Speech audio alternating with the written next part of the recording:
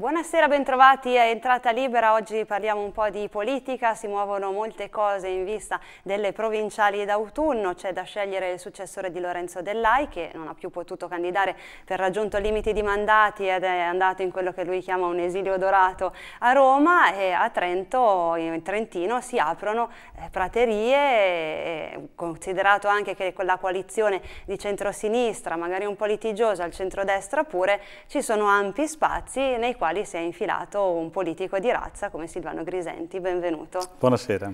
Eh, partiamo subito dalla vostra proposta politica, Progetto Trentino, anche perché siete stati i primi a partire già la settimana scorsa, pronto il camper, si parte, anche questa è una mossa da politico. Ma è un'idea che è nata all'interno di questi gruppi di lavoro che abbiamo attivato da diverso tempo e devo dire che rappresenta una bellissima immagine che è la voglia di toccare tutti i luoghi del Trentino perché noi vogliamo veramente significare qualcosa di nuovo, che è la capacità dei territori di essere protagonisti. Dove vi mettete politicamente? Questa è la domanda che si fanno tutti. Insomma, lei viene dalla Margherita, poi dall'UPT, però eh, ci sono anche spazi nel centrodestra. Dove ritenete di essere? Ma eh, chi conosce la nostra storia anche personale sa benissimo dove siamo. Eh, io sono un popolare e quindi lì rimango fedele. E sono anche convinto però che oggi i problemi dei trentini eh, hanno bisogno di qualcosa di diverso. Io sono convinto che c'è la destra, c'è la sinistra e queste ci saranno sempre. Però noi oggi abbiamo bisogno di fare un passo in avanti e il progetto Trentino è proprio questo, si richiama alla responsabilità, alla grande responsabilità che tutti i cittadini devono assumersi, eh, perché noi abbiamo l'obbligo di cambiare velocemente, altrimenti non ci sarà storia per noi. Allora, eh, sottoscritto può anche dire basta, insomma, ho già dato, ho ricevuto tantissimo, eh, però noi tutti abbiamo delle responsabilità, innanzitutto rispetto ai figli nostri, quindi e noi non possiamo toglierci da questo. Il progetto Trentino è proprio questo, non guarda né a destra né a sinistra, guarda i problemi dei trentini. Michela Biancofiore le ha aperto le porte, le piacerebbe allearsi con lei? Ma non è il mio sogno, ho altri sogni, devo dire onestamente, nella mia vita. Viceversa, la sua carriera politica è stata sempre molto legata a Dell'Ai, era assessore quando lui era sindaco, siete andati in provincia insieme, ho letto da qualche parte, lei ha detto non era un matrimonio. Ma io sono stato legato molto ad un'idea, non a Lorenzo Dell'Ai. Eh, questa è una grande semplificazione, anche se devo dire onestamente eh, con Lorenzo Dell'Ai eh, ho passato tanti dei miei anni in politica e devo dire altrettanto onestamente che è stata un'esperienza entusiasmante, eh, non la, non, la, disconosco.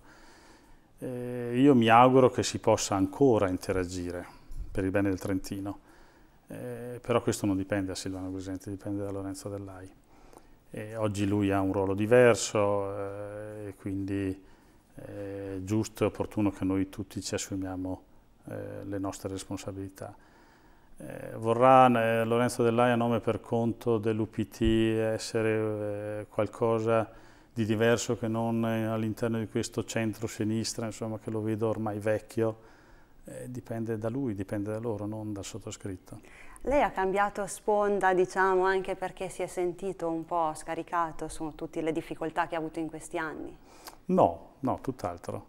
Eh, girando il Trentino perché non ho mai smesso, ho capito che eh, così non si poteva andare avanti. Eh, la politica ha bisogno di interpretare di dare risposte, quindi non solamente insomma, ecco, di rispondere alle domande, ma di dare risposte, però se uno non ascolta eh, non riuscirà mai a dare risposte più adeguate.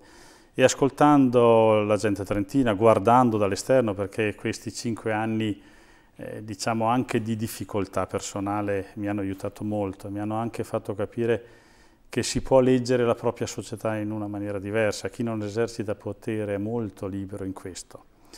E devo dire che l'idea di Progetto Trentino è nata proprio da questa, dall'esigenza di rimettere in moto eh, la nostra appartenenza, eh, il nostro senso di responsabilità. Parlo di parole che il Trentino medio non ha bisogno di decantarle o di declinarle, ha bisogno solo di interpretarle, l'ha sempre fatto.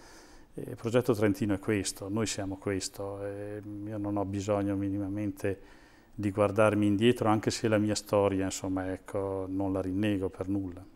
Lei diceva interpreto il cambiamento, però c'è chi parla di lei anche come la vecchia politica. Come pensa di interpretarlo? Ma innanzitutto garantendo ad una nuova classe dirigente di essere protagonista, perché eh, io non ho nessuna intenzione di occupare spazi, anche se fisicamente poi sono abbastanza ingombrante.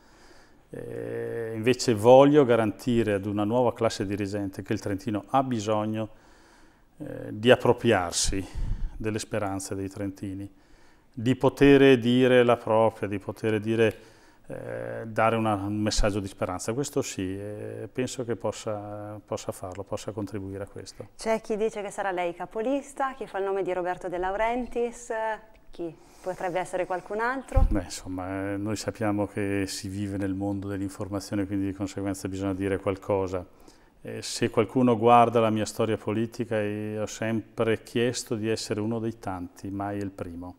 Oggi ho visto Tonini che ha detto una cosa eh, bellissima, lui è una delle poche persone intelligenti in politica che noi oggi abbiamo. Ha detto il futuro presidente della provincia deve essere un primo inter pares. Silvano Grisenti è sempre stato questo all'interno prima della democrazia cristiana, poi della Margherita e poi dell'Unione per il Trentino. Oggi lo è in progetto Trentino. Lei dice il centro-sinistra è un po' allo sbando, è un po' in difficoltà. Eh, perché? Non lo so, non mi riguarda. Il Trentino è cambiato? È cambiato tantissimo, eh, si sente, eh, il Trentino ha bisogno di risposte, io sono convinto che ormai eh, il centro-sinistra eh, centro abbia fatto il proprio, proprio tempo e noi abbiamo bisogno di dare un messaggio diverso. L'idea dell'alternanza noi la praticheremo fino in fondo. Qualche tema concreto? Lei per esempio ha detto no alle comunità di valle. Sì, perché sono state tradite nelle aspettative. Noi avevamo un'idea e ne è stata applicata un'altra. Se qualcuno si legge l'articolo 1 della legge istitutiva, è qualcosa di esattamente il contrario di ciò che è stato fatto, quindi è stato un grande tradimento. Eh, noi oggi però dobbiamo anche constatare una cosa, nel 2006 quando è stata approvata quella legge eravamo in un secolo, in un'epoca, in un'era addirittura dico. Oggi siamo in un'altra era, le nostre condizioni economiche sono altro. Noi dobbiamo semplificarci, quando chiediamo alla gente di essere semplice, quando chiediamo alla gente di essere, insomma così, eh, risparmiare e poi noi non lo facciamo, eh, credo che diamo un cattivo esempio. Oggi le comunità di valle non sono lo strumento più adeguato per rispondere al meglio a un bisogno di semplicità, a un bisogno anche di eh, così, riduzione della spesa pubblica nella gestione delle nostre istituzioni.